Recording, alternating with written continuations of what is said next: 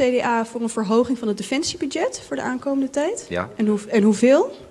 Uh, dat zal uh, over een week of twee uh, definitief bekend zijn. Maar wij hebben in het programma staan dat wij willen werken naar het Europees gemiddelde in deze kabinetsperiode. Dus niet de 2% die eigenlijk staat? Dat is wel het einddoel. Dat staat ook in ons programma. Maar dat achten wij niet realistisch om dat te realiseren binnen vier jaar. Dan ja. moet er echt 5 miljard bij. We hebben ook nog andere wensen als politiek. Maar dat er fors geïnvesteerd moet worden in defensie, dat is helder. Ja. GroenLinks, komen er inv extra investeringen, financiële investeringen in defensie? Het voorstel van de regering is 300 miljoen erbij en dat, en dat trekken we niet terug. Dus dat steunen we. Dus 300 miljoen, dat steunen we.